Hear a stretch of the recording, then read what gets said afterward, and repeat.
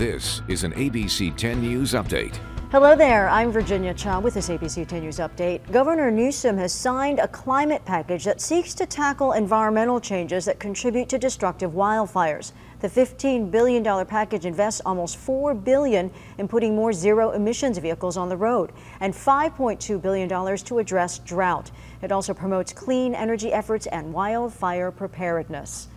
Police have now identified the man who was shot and killed by an officer in Escondido Friday night. Escondido police say it started when 38-year-old Jonathan Carroll randomly shot at a car with a man and a teenager inside earlier in the day. They say an officer later spotted Carroll and when he attempted to pull him over, Carroll sped away. Police say Carroll eventually got out of his car and shot at the officer twice. The officer was not hurt. He has been placed on administrative leave as this investigation continues.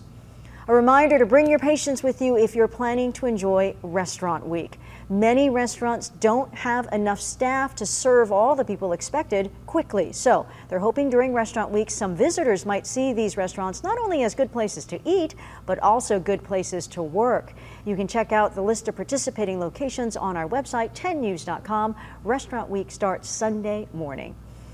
Let's talk about this Friday forecast as we head into the weekend, Megan. And we have some big changes. So not only tracking the cool down, it will be about 3 to 10 degrees cooler today with 70s and 80s for most of the county and 90s in the deserts but also monsoon moisture. So this afternoon and evening, isolated to scattered rain and thunderstorms is expected anywhere in the county. So stay weather aware today. Those thunderstorms are going to form quickly. And of course, if you hear thunder roar, head indoors. We'll keep a slight chance through Sunday, though the better chance tomorrow and Sunday will be near the mountain and desert areas. It's not out of the question to see them spill over to the valleys, but it's not as likely.